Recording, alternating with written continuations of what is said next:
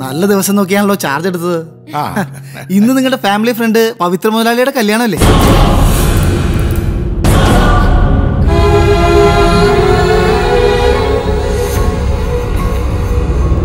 മാല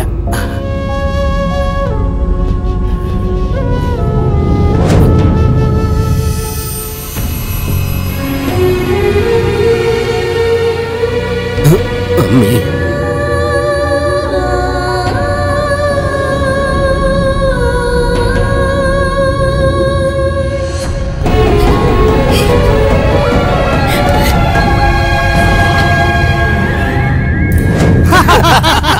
എന്റെ മോളുടെ കല്യാണത്തിന്റെ പാർട്ടിയാ.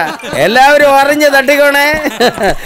എടാ കൊച്ചേട്ടാ നീ ഒരു ചെറുതെടുത്ത് അടിക്കടാ. വേണ്ട ഞാൻ ഗോവിന്ദേട്ടനൊരു ഗോവിന്ദേട്ടൻ ഒരു കാലെടുക്കട്ടെ മുമ്പൊക്കെ ഞാനൊരു കാൽ ചോദിക്കുമ്പോ നീ പുറം കാലം കൊണ്ട് തട്ടിയതൊന്നും ഞാൻ മറന്നിട്ടില്ല. വാസ്തവം.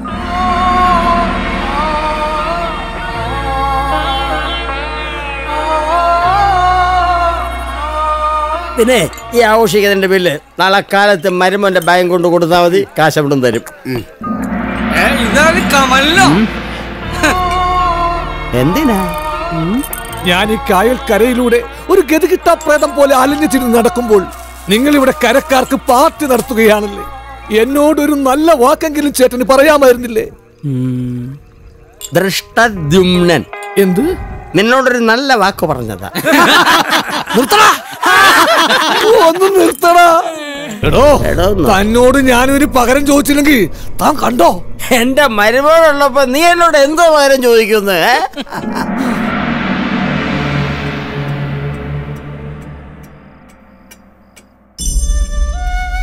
നടക്കേണ്ട നടക്കേണ്ടതൊക്കെ നടന്നു. എന്നുവെച്ച് നിനക്കറിയത്തില്ല. എനിക്ക് നഷ്ടപ്പെട്ടതിന്റെ വില എത്രയാന്ന് നിനക്ക് മനസ്സിലാവത്തില്ല. ആവശ്യമില്ലാത്ത കാര്യങ്ങളൊക്കെ പറഞ്ഞ് അമ്മുവിനെ തെറ്റിദ്ധരിപ്പിച്ചതും സാറ് തന്നെ അല്ലേ എടാ ഈ സ്വർണക്കടയിലും തുണിക്കടയിലും വമ്പം പർച്ചേസിന് വരുന്ന കസ്റ്റമേഴ്സിനെ മുതലാളിമാര് ചിരിച്ചുകൊണ്ട് സ്വീകരിക്കാറില്ലേ? അതൊക്കെ സ്നേഹമാണ് തെറ്റിദ്ധരിക്കാണോ വേണ്ടത്? എന്റെ നിലയും വില എന്താണെന്ന് ഓർക്കണ്ടേ? എനിക്ക് തോന്നുന്നത് എന്നെ പോലുള്ള ഒരു കാശുകാരൻ ചുളുവിൽ അടിച്ചെടുക്കാൻ അവളും അവളുടെ അച്ഛനും കൂടെ നടത്തിയ ചതിയായിരുന്നു അതെന്താ? ഏയ്. ചതി അല്ലെങ്കിൽ പിന്നെ എങ്ങനാ? ഞാൻ മർമ്മസാറിന്റെ മോളെ കല്യാണം കഴിക്കാൻ റെഡി ആയിരിക്കുന്ന സമയത്ത് തന്നെ ഇതെല്ലാം നടന്നു പവിത്ര മുതലാളിയുടെ അമ്മായിയച്ഛന്റെ കയ്യിൽ നിന്ന് വാങ്ങിയ വെള്ളമാണെന്ന് ഓർത്ത് ഉപയോഗിക്കണം. ശരി. ആ വെള്ളം എടുത്തോണ്ട് പൊക്കോ. ആ എടുത്തോ. ഒരു ചായ. നാലായിരം കിട്ടേണ്ട വെള്ളമായിരുന്നു. മൂവായിരത്തിന് കൊടുത്ത് എന്നായാലും നഷ്ടമായി താൻ എന്ത് വിവരക്കേടാടോ പറയുന്നത്? എന്റെ മരുമോന്റെ സ്റ്റാറ്റസ് വെച്ച് നോക്കുമ്പോ അമ്മായിയച്ഛൻ ഒരു വള്ളക്കാരനാണെന്ന് പറയുന്നത് നാണക്കടയിലോ ഇനിയിപ്പോ എന്താ പരിപാടി? രണ്ടു മൂന്ന് ബോട്ട് വാങ്ങിക്കണം. കാലടി ഭാഗത്ത് ഏത് ഇവരുടെ എന്താ വരുമോനെ ഇവിടെ? എന്താ എന്താ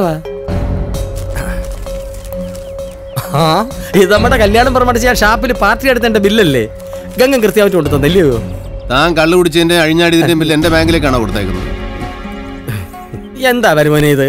അമ്മ അമ്മായിച്ചനാകുമ്പോ പിന്നെ മരുമോന്റെ ബാങ്കിലല്ലാതെ നമുക്ക് കുടുംബത്ത് പേര് ഏത് കുടുംബത്തിൽ ഞാനൊരു കാര്യം പറയാം. മകളെ എന്റെ തലയെ കെട്ടിവെച്ചതിന്റെ പേരിൽ എന്നെയും എന്റെ സ്വത്തുക്കളെയും വാതുരാതെ വിഴുങ്ങാനാണ് ഉദ്ദേശമെങ്കിൽ അത് നടക്കാൻ പോകുന്നില്ല. മകളെ തലയെ കെട്ടി വെച്ചെന്നോ നിങ്ങൾ പ്രേമിച്ച് കെട്ടിയതില്ലയോ? അതിനെക്കുറിച്ച് കൂടുതലൊന്നും ഞാൻ പറയുന്നില്ല. ഞാനൊരു കെണിയിപ്പെട്ടു പോയി. ഇവിടെ ഇത്രയും കാലം എങ്ങനെ ജീവിച്ചോ? അങ്ങനെ അങ്ങ് ജീവിച്ചോണ്ടാ മതി. അള്ളവും പോയി. പിന്നെ മരുമകനാണ് മച്ചമ്പിയാണെന്ന് പറഞ്ഞ് എന്റെ ഏതെങ്കിലും സ്ഥാപനത്തിന്റെ ഏഴ് അയലത്ത് വന്ന. അന്ന് ഞാൻ മകളെ കെട്ടിയൊരുക്കി വീട്ടിലേക്ക് പറഞ്ഞു വിടും.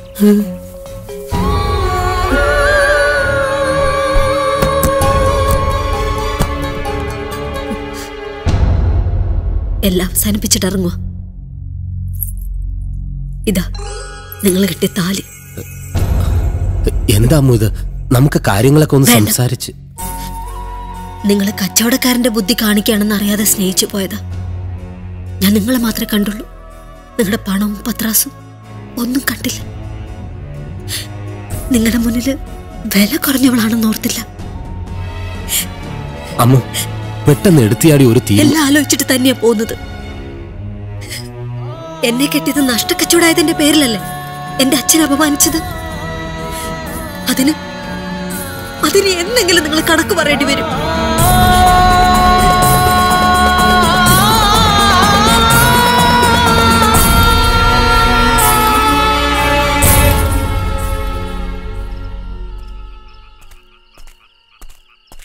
എടോ വെന്നീസിലെ വ്യാപാരി താൻ ഉറങ്ങിയോ ഇവിടെ എന്താ ഇരുട്ടിന്റെ ആത്മാവെന്ന സിനിമയുടെ ഷൂട്ടിംഗ് നടക്കുവാന്നോ ഏ? ഓ കറണ്ട് ബില്ല് ലാഭിക്കാൻ വേണ്ടി ഇരുട്ടത്തിരിക്കല്ലേ എന്റെ കാലെ ഒന്ന് നിക്ക്. സാറും അവിടെ നിക്ക്. നീ എന്താ എന്നെ വിളിച്ചത്? എന്താ? മനുഷ്യനിവിടെ തീ നിന്നുകൊണ്ടിരിക്കുമ്പോ തോന്നിയ സമ്മർദ്ദമുണ്ടല്ലോ താൻ ആരാ പേടിപ്പിക്കുന്നേ? തന്റെ എല്ലാ കൊള്ളരുതായ്മയ്ക്കും കൂട്ടുനിന്ന ഒരുത്തനാ ഞാൻ. പക്ഷെ തന്റെ കച്ചവട ഭ്രാന്ത് മൂത്ത് ഇന്ന് ഒന്നും അറിയാത്തൊരു പെങ്കൊച്ചിന്റെ ജീവിതമാ താൻ ഇല്ലാതാക്കിയത്. കാശിനേക്കാൾ വലുത് മറ്റു പലതുമാണെന്ന് താൻ തിരിച്ചറിയുന്ന ഒരു ദിവസം വരും. അന്ന് തന്നെ തിരക്ക് ഞാൻ വരും. മോഷ്ടിക്കാനൊന്നുമല്ല. തനിക്ക് മനസ്സമാധാനം ഉറക്കമില്ലാത്തതുകൊണ്ട് എന്തായാലും അത് നടക്കില്ല. തനിക്ക് ഈ ജീവിതത്തിൽ നഷ്ടപ്പെട്ടത് എന്തൊക്കെയാണെന്ന് എണ്ണി എണ്ണി പറഞ്ഞു തരാൻ. അയ്യോ.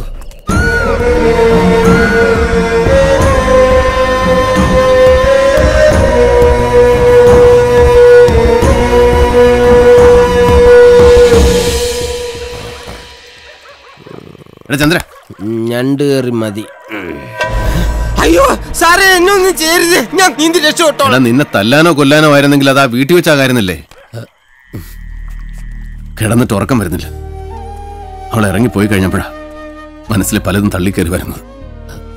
എടാ ഞാൻ കാശിന്റെ പുറകെ നടക്കുന്നവനാണെങ്കിൽ ലക്ഷ്മിക്ക് ഇഷ്ടമാണെന്ന് പറഞ്ഞപ്പോൾ അന്നേ അവളെ സ്വന്തമാക്കിയ പോരായിരുന്നു. ഇത് എനിക്ക് കച്ചവടത്തിനല്ല ഒരു തലയൊക്കെ ഒരു കണ്ണുകൊണ്ടുണ്ടായത് അമ്മൂന് എനിക്ക് വേണം. ഇനി അവളെ മനസ്സ് വേദനിപ്പിക്കരുത്. നമുക്കിപ്പോൾ തന്നെ പോയി അവളെ വിളിച്ചുകൊണ്ട് വരാം. അജയന്റെ കൊലക്കേസ് അന്വേഷിക്കാനല്ലേ ഞാൻ ആദ്യമായിട്ട് ഈ കരയിൽ വരുന്നത്. അതൊക്കെ അവളെ പറഞ്ഞ് മനസ്സിലാക്കണം. നീ വാ. സാർ അറിയാതെ ഞാൻ എന്തെങ്കിലും അതൊന്നുമില്ല നീ വാ. മുതലാളി! തീ പിടിച്ചു.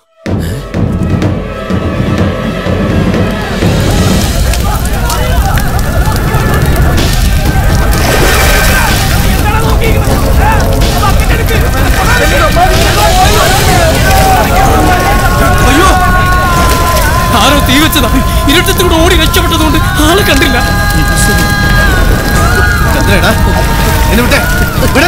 സാറ് വേണ്ട.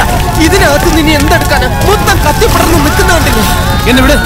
വേണ്ട. എന്നെ വിട്. അയ്യോ എന്റെ അൻപതിനായിരം രൂപ മുതലാളി പറഞ്ഞിട്ടാ ഞാൻ ഇതിനകത്ത് ഡെപ്പോസിറ്റ് ചെയ്തത്. എന്റെ ദൈവമേ എന്റെ കാശ് പോയല്ലോ.